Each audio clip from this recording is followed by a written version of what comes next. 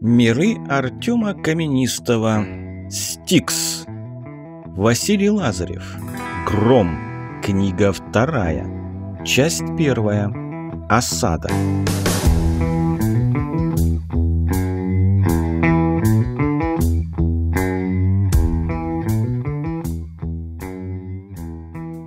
Глава первая.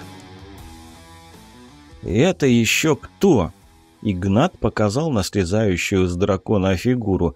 Издали он напоминал человека. Две ноги, две руки, большая непропорциональная голова. Существо передвигалось по земле, пригнувшись, пользуясь сразу четырьмя конечностями. Кожа была черная, как у скреббера, с которого она только что слезла. Нечто довольно быстро, чуть боком, перебирая четырьмя конечностями, как паук, приблизилось к людям и застыло в трех метрах. Откуда он взялся? Кто-нибудь видел его, когда летели сюда? Может, он болеет чем-то? Могут ли быть у дракона блохи? Судя по размерам скребера, и блоха должна быть гигантской, чуть меньше меня ростом. Как у него голова-то держится на такой тонкой шее? Лысый череп, большой полуоткрытый рот, полный мелких треугольных зубов. Тонкие губы дрожат, будто хотят что-то произнести. Огромные в пол лица круглые глаза. Он уставился именно меня, не мигая. Изучает. Гипнотизирует, что ли? «Ты кто?» «Ага, так он тебе и ответил», – задумчиво произнесла Вероника. Тем временем существо ловко ухватило своими длинными пальцами с четырьмя фалангами за локоть связанного Нолда и потащило к дракону. Тот же сидел как сфинкс, не шевелясь, и лишь только его огненно-красные зрачки внимательно следили за происходящим – Существо выпрямилось и встало на задние ноги, прихрамывая, засеменило вперед. Нолт попытался вырваться из его ловких лап, но тотчас получил ощутимого пинка ногой и полетел на землю. Пропахав носом траву, он оказался перед лапой скреббера. Его голубой халат задрался, обнажив красные труселя. Нолт поднял голову, пытаясь рассмотреть сидевшего перед ним дракона. Когти на лапе зажались, вонзившись глубоко в землю. Раздался чудовищный рык, разом разогнавший любопытных зараженных. Не разбирая дороги, два элитника, ломая стволы деревьев, понеслись прочь от поляны. Нолт тоже попытался вскочить и пуститься бежать, но существо, казалось, только этого и ждало. Оно быстро прижало внешника ногой к земле с такой силой, и мне показалось, что я услышал, как у Нолда затрещали ребра. Дракон наклонил свою кошмарную голову к испуганному человеку и внимательно рассмотрел его, после чего повернулся к существу и едва заметно кивнул. Существо, силой прижимая Нолда к земле, резко дернуло его за руку. Там мгновенно с хрустом вылетела из сустава, а затем оторванная конечность оказалась на земле рядом с дергающимся телом. То же самое произошло и со второй рукой. Нолт уже после первой потерял сознание, но помогать ему никто не желал – Останавливать кровь тоже никто не спешил. Существо обошло его вокруг и плюнуло под ноги. Ничего себе! Его поведение почти ничем не отличалось от человека. Кто это такое или такой? Внешних половых признаков видно не было, вместо них там виднелась ракушка черной брони, как у хоккеистов – так же, как и все остальное тело было покрыто многоугольными пластинами. Ноги и руки существа были похожи на обезьяне. Скорее всего, он был очень ловок и силен, и, ко всему прочему, обладал недюжинной силой. Вот так просто выдернуть руку у взрослого мужчины далеко не всем под силу. Ну и сама дружба со скребером – Здесь я вообще потерялся. Что происходит? Неплохо. Игнат смотрел на Нолда, истекающего кровью. Весьма. Я бы так не смог даже под даром. Странно. Где этот род прятал жемчуг? Спросила никому конкретно, не обращаясь Алина. Может, у него и не было жемчужины? Скребера-то они убили же пожала плечами Вероника. «Погодите!» Феликс сжал голову руками. «Он говорит!» «Кто?» «Старичок, голоса в голове — это уже плохо!» Я похлопал Феликса по спине. «Скреббер!» «Феликс ментат. Может, он слышит его мысли?» — предположила Вероника. «А у него есть мысли?» Автоматом спросил Игнат, но, поглядев на Скреббера, поправился. «Конечно же, он разумный. И что же он говорит, Феликс?» «Он отвезет нас домой». «Это замечательно. А то оставаться здесь в одних белых халатах нежелательно». Я взглянул на собравшихся в кучу зараженных, жадно рассматривающих издалека безрукого Нолда – он еще сказал, что у самки Скреббера не было жемчуга, потому как она была беременна. «Чего-чего?» – удивилась Алина. «Того, не мешай!» – Феликс махнул рукой. «Скреббер говорит, что когда она вынашивала, то ее жемчужина пошла на формирование скорлупы яйца малыша». «Представляю, какой там малыш!» Не удержалась Алина, и тогда Игнат подошел к ней и жестами заставил замолчать. Феликс, от накатившей на него усталости, сел прямо на землю, но по-прежнему сжимая голову руками. «И еще он хочет, чтобы мы ему помогли, когда он найдет, где прячут его яйцо Нолды», — произнес Феликс. «Каким образом?» Я уже плохо соображал. «Чем мы можем помочь дракону?» Он слышал мысли Нолдов. Они спрятали яйцо с его наследником, но здесь его нет. Иначе он бы давно нашел. Спроси его, почему он не запустил это существо к Нолдам, раз сам туда пролезть не смог. Тот бы все сам и сделал бы. Зачем мы ему? Глум не делать. Глум не знать. Мы резко повернулись и уставились на говорящее существо. «Он Глум? Он говорил с нами?» Скреббер говорит, что он многого не может, и Нолды убили бы его одного к тому же, — хрипло сказал Феликс. «Замечательно. А нас, значит, можно сунуть Нолдам. Нас не жалко, еб вождь, так?» Алина разошлась, размахивая руками и не обращая внимания, как Игнат уставился на ее голое тело под распахнувшимся халатом. «Он не знал, что нас предадут и готов был послать Глума нам на выручку!» Феликс транслировал Скреббера. «Кто ты, Глум?» Вероника посмотрела на застывшего монстра. «Глум не помнит!» Существо развело в стороны своими черными руками и шмыгнуло носом. «Дракон хочет, чтобы Глум остался с нами. Мы сможем общаться через него с драконом», — подал голос Феликс. «А он нас не сожрет?» — с опаской посмотрела на Глума Алина. «Человека, фу, не ест!» — успокоил нас Глум. Но это резко меняет дело. Глум красавчик, и я гром. Заметно нервничая, рассмеялся я. Глум покосился на меня и бочком пошел к дракону. Тот уже вытянул крыло, приглашая к полету. Мы забрались по нему к дракону на спину. Куда делся Глум, я не заметил, но он с нами не сидел. Дракон коротко рыкнул и без разбега, оттолкнувшись мощными лапами, свечой ушел в небо. Внизу с радостным урчанием зараженные набросились на еще живого Нолда.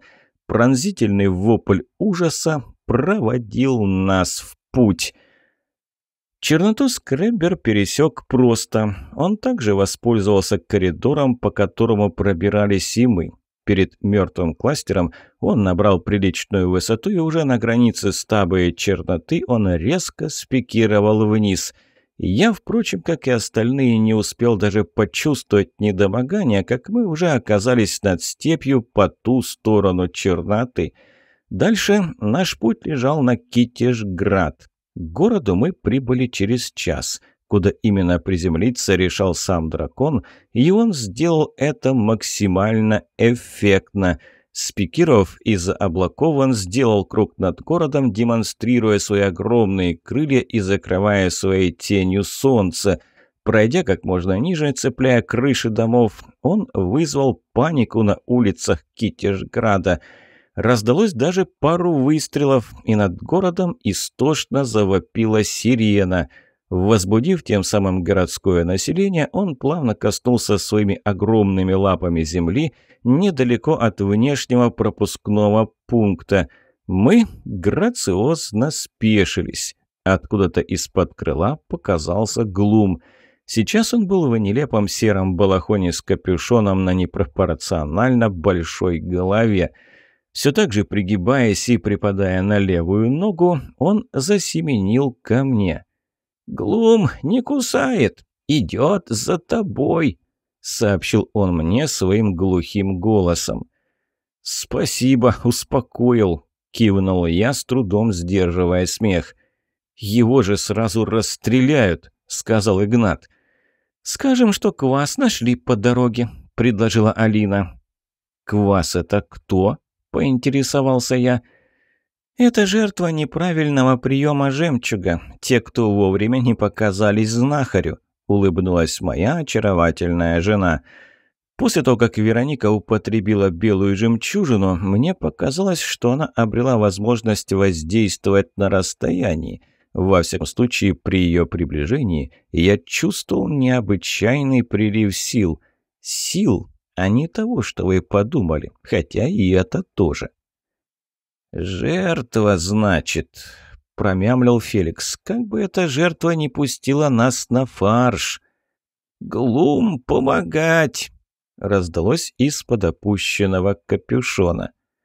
«Хорошо, помогать так помогать. И все же кто ты? Говоришь не сказать, чтобы как Цицерон, но осмысленно, хотя тело как у элиты. Алина совсем запуталась. «Глум не помнить!»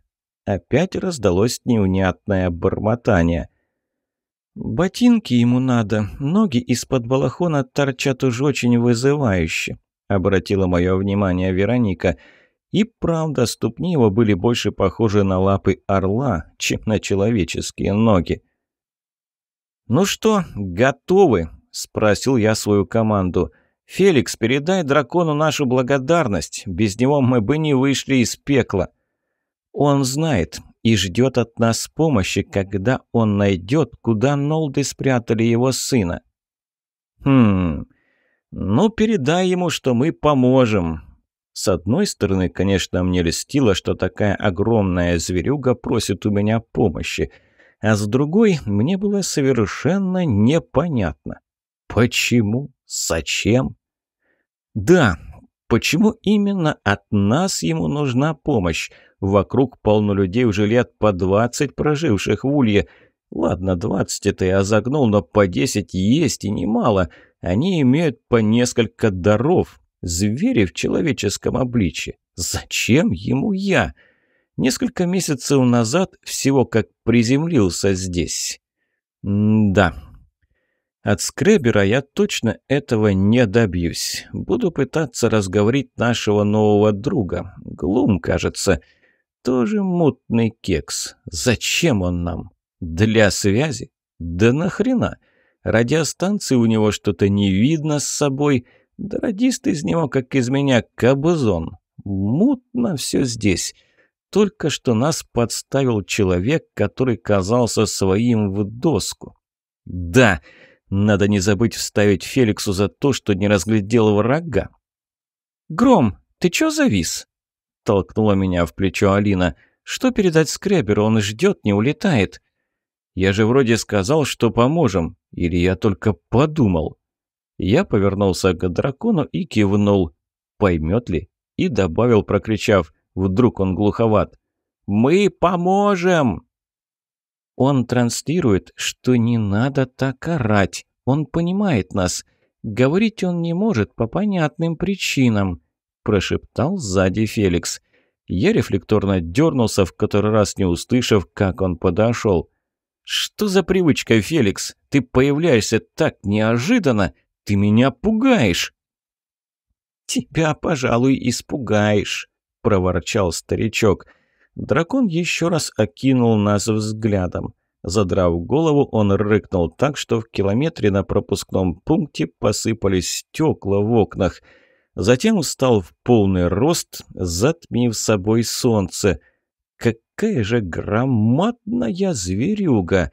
Разве такое вообще можно как-то убить? Интересно, а поменьше есть скребберы? Очень нам надо еще одну белую жемчужину. Время пока есть, но медлить не стоит. Я мотнул головой, отгоняя мысли, и помахал ему рукой. Дракон без разбега, оттолкнувшись от земли, ушел ввысь, взмахнув своими громадными крыльями. «Пойдем, что ли? Сейчас вопросами замучают», — вздохнул Игнат. «Как это великодушно с их стороны! Гром, они послали нам транспорт!» Вероника, щурясь от яркого солнца, указывала в сторону КПП. По полю к нам приближались два БТРа. «Макс, тебя еще не расстреляли?» – искренне удивился я. «Как видите, должность мэра Китежграда упразднена. У нас теперь децентрализация и совет трех. За мной оставили хозяйственные дела. Крус у нас ныне заведует армией и боевыми действиями а товарищ Артем – политикой и спецслужбами. Я вас обязательно с ними познакомлю. Вы же наши почетные граждане». Нас сразу без досмотра доставили в правительственный дворец. Первый этаж уже более-менее привели в порядок, но ко второму еще даже не приступали, занавесив его брезентом. Сейчас мы сидели в бывшей резиденции мэра. Как теперь это называлось, меня совершенно не интересовало – Макс не вытащил бы один особенно в сложное для стаба время. Что ж, вполне объяснимо. Пусть правят на троих, оно всегда удобнее. Можно собраться, обсудить, как там и что. Одеяло опять же на себя уже не так натянешь и, положив на все, бежать отплясывать со слабым полом тоже не получится. «Домик-то еще за нами?» – поинтересовался Феликс. – «О, да, он ваш и на прежних условиях. Живите сколько хотите. А где медведь, Наташа? Что стало со стронгами и как вы сюда добрались?» Макс от нетерпения еле сидел на одном месте. «Сейчас твои собу... соправители подойдут, и мы всем сразу и расскажем», — успокоил его я. «А у вас что нового произошло?» — спросила Алина. «Вот именно произошло. Кто мог вообще подумать о таком? Помните соседний кластер за лесом?» – спросил Макс, потемнев лицом. «Откуда?» – я покачал головой. «Ты просто мало здесь был, милый. Там расположен один из двух больших магазинов. Откуда Китиш берет свои припасы?» – сказала Вероника. После операции она вообще не отходила от меня ни на шаг, и я ее прекрасно понимаю, тем более, когда она узнала, что беременна. «Брал!» Лицо Макса стало хмурым, как грозовая туча. «Я лично и не предполагал, что такое возможно. После того, как вы ушли на юг, мы собрались в магазин. Все прошло по плану в расчетное время». Сама перезагрузка длилась больше обычного, а вот когда туман спал...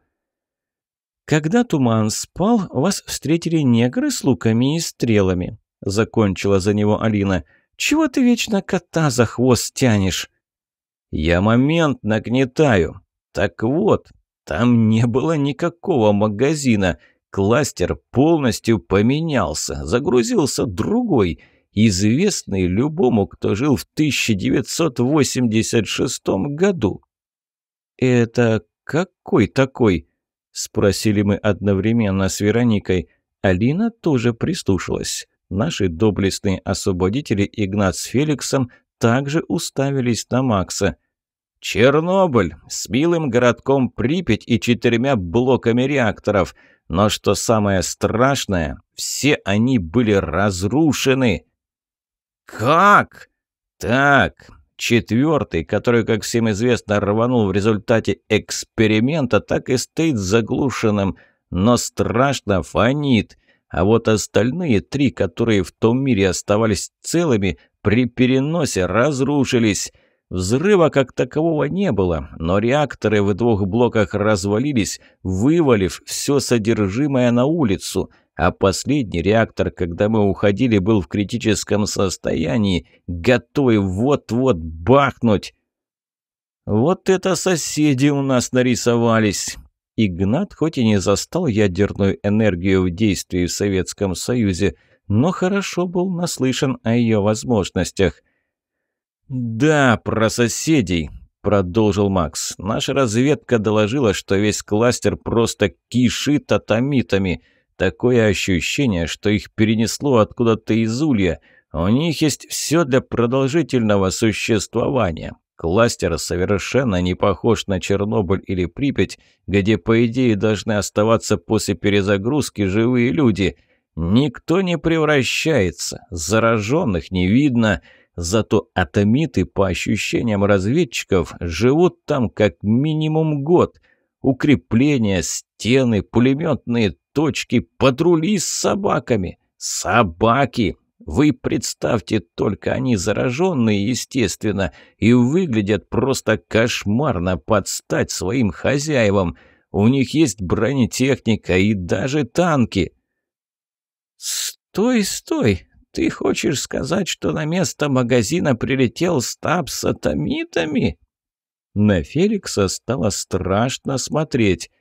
«Да, именно это я и говорю. Мы сделали оттуда ноги, воевать с ними мы были не готовы. И потом, кто в здравом уме сунется в кластер с запредельной радиацией? У разведки были свои дозиметры, но они зашкалили. При всем при этом местные чувствовали себя великолепно. Наши приняли решение быстрее убраться оттуда, дабы не схватить смертельную дозу облучения. Воевать с ними бессмысленно, но им соваться сюда тоже некомфортно. В итоге вы потеряли только магазин», — с облегчением сказала Алина. «Как тебе сказать? Нам да. Туда лучше не показываться, а вот они на нашей территории чувствуют себя хорошо. Учти еще то, что заразить лес им намного проще, чем нам потом его дезактивировать». «Ты полагаешь, что атомиты попробуют вылезти из своего кластера?» – с тревогой спросила Алина. Ответить Макс не успел. В комнату без стука вошли два человека. Первый среднего роста, подтянутый с армейской выправкой, и второй в гражданском костюме тройки. Военный обладал квадратным подбородком и коротким ежиком темных волос. Второй вошедший держал в руках шляпу и трость – на вид его можно было спутать с профессором из университета. «Круз! Эндрю Круз!» – отрекомендовался военный. «Ага, это второй правитель Китежграда», – догадался я. «Тогда гражданский у нас будет Артем, товарищ Артем», – кивнул профессор.